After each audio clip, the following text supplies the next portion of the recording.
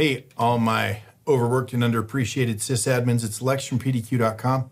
You know, I'd like to answer some of the most asked questions about PDQ deploy and inventory.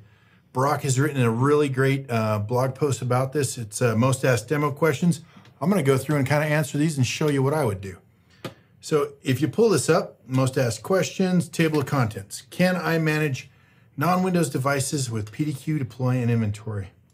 Now, to first of all, to get those non-Windows devices into your inventory, what you're going to need to do is you need to go to Options, Preferences. Let's go look at Active Directory. Now, it's important that you make sure right here, this delete mode is either set to import only or mixed sync. If it is full sync, okay, you'll pull in the non-Windows devices that aren't in your Active Directory, and the next time the sync happens, they'll get deleted. So first, do that. And we'll give that a save. Next thing we're going to do, we're to go to Computers, Add Computers, Network Discovery. Now, the good and the bad thing about this, it's going to go out and it's going to run a range of IP addresses, whatever you set up here, and I, I grabbed the entire subnet, okay?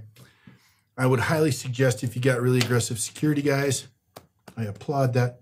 Let them know you're going to do this because it will systematically ping uh, the machines. So start discovery. You will notice that is now running through and it's pinging all the devices that happen to be in that subnet range. Okay.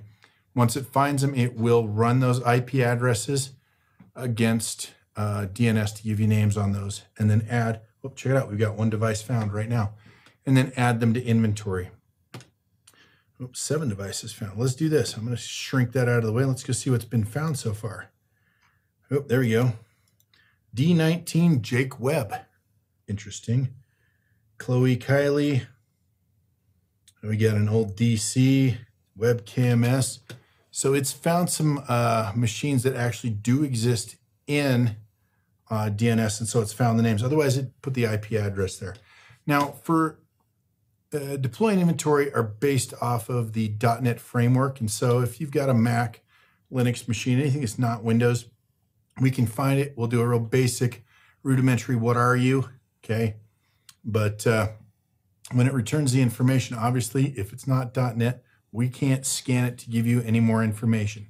But what you can do, and I've got videos out on this, is you can use custom tools to either, you know, let's say it's a printer, and the printer has a web interface, you can add a tool to go and open up the uh, web interface for that. If it's a Linux machine or a Mac, you can have it automatically like run PuTTY so you can SSH to those machines. So there's some things you can do to manage it, getting it into in, uh, PDQ inventory in this case. The, uh, the next thing, can I build my own custom packages and make them deploy silently? The simple answer to that is yeah, absolutely. Let me show you how to do that. So the first thing you're want to do is obviously download the install package or exe or MSI, right? And you're going to go to new packages. In this case, we're going to do a um, it is, let's go see what Brock brought up.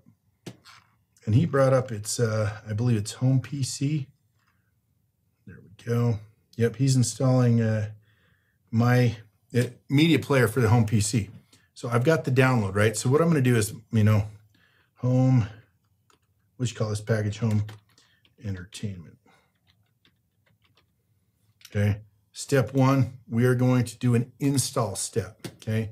And then I'm going to go out and I'm going to grab from my install files. I happen to drop it on my desktop. There it is. MPC HPC. Okay.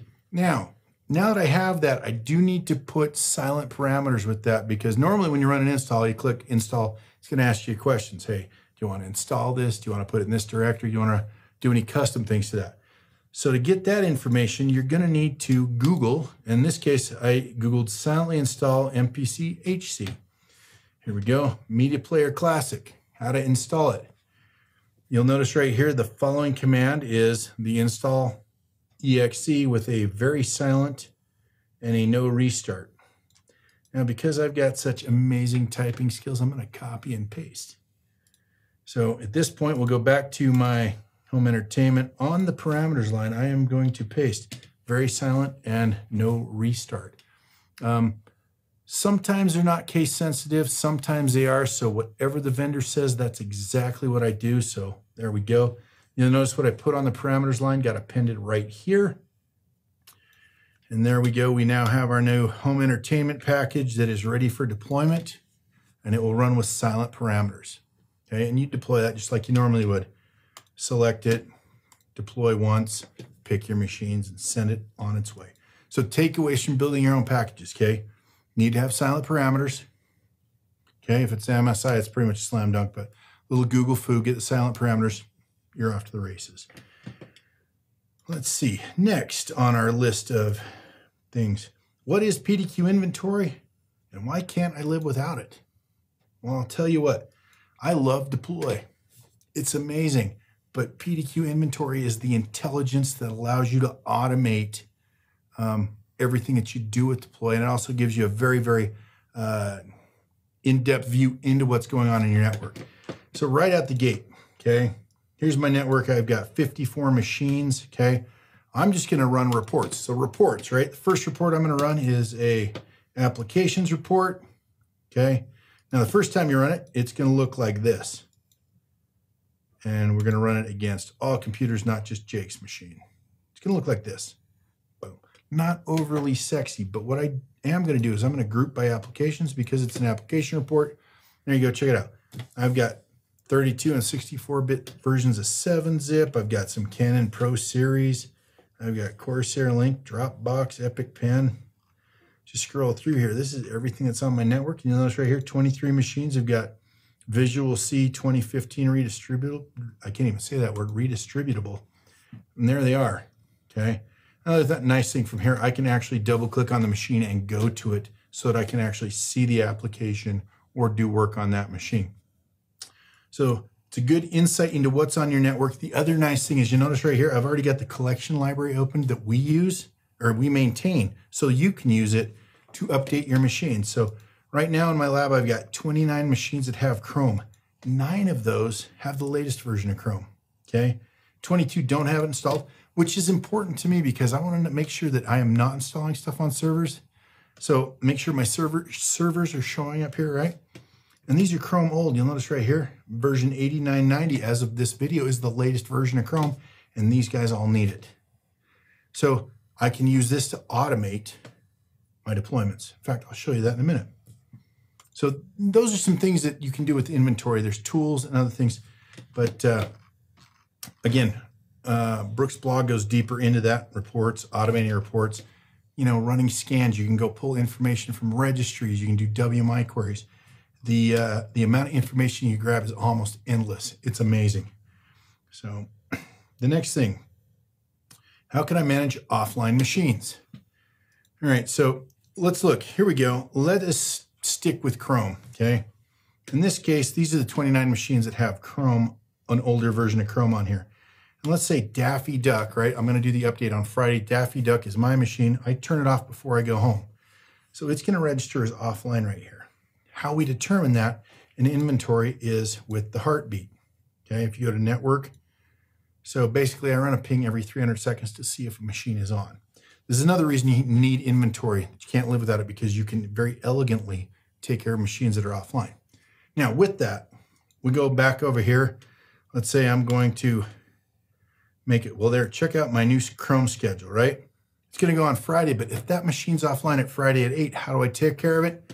I add that heartbeat schedule. And I always like to let, say, hey, if that's going to run on Friday, let's start that on Saturday or the Sunday following, right? So it gets an opportunity to, to do it uh, on the schedule. Basically, what that's going to do is when I come back into the office on Monday, right? Okay, and I turn on Daffy Duck. I was supposed to get Chrome on Friday, right? I turn on the machine Daffy Duck. I'm getting my coffee, okay? Daffy Duck will go from a no offline right here to a yes. When it does that, inventory is going to check in with deploy and say, hey, was I supposed to get anything since I was last on? Oh, I was supposed to get Chrome and it will take care of it then, which is a very nice way to take care of machines as they come on and off your network or if a VPN shut down, so on and so forth. So that's how I take care of offline machines and it works absolutely great. Finally, how can I automate updating my deployments. Well, again, deploying is super simple, right? I go and deploy, I grab Chrome, deploy, deploy once. I pick my machine, whether I name it or select it from, you know, inventory or whatever. Okay. But that's a one-time shot, right? So that means I've got to do it. So automating it, let's make it so I don't have to be involved and it runs on its own. So I've already built this schedule. Basically what I did was I went in and I said, okay, I want this to run on Fridays. Okay. I want to take care of my offline machines by starting a heartbeat after Friday. Okay. Targets. This is where inventory is so key, right? You'll notice I pointed this at the Chrome old collection.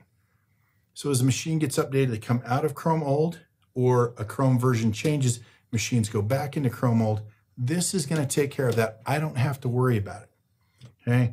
There's my package, Chrome. Stop deploying to targets once they, they succeed. I give that an okay. There we go. What's going to happen Friday? It's going to check in with inventory. Who's in Chrome old? These 20 machines, it's going to update those. They'll go from Chrome old to Chrome latest. Angels will sing ah, and you no longer have to uh, work. You can just sit with your feet up on your desk because your work's done. Okay, or work on bigger brain projects. But that's how I automate third party patching. And you can do that exact same thing for your Windows updates. Check it right here. Workstations. I got 34 Windows 10 machines. Let's look at my 2004 64 bit machines. You'll notice I need to update all seven of these guys because they're missing KB0, 0, 1567. Scheduling is exactly the same. The other thing I neglected to mention was these are auto download packages, the ones with the blue arrows, which basically means if a new version comes out, okay, auto downloads. You know, honestly, I set this at 14. I really like it at 7, okay?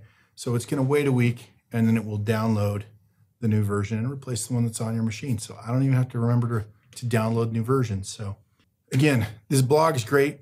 Uh, Brock goes into it in, in depth in the read, and hopefully I do it justice by shooting this video. But, but guys, you know, take work off your plate. You know, be lazy like me. Or at least, you know, work smarter, not harder. Appreciate you guys watching. I'm Lex from PDQ.com.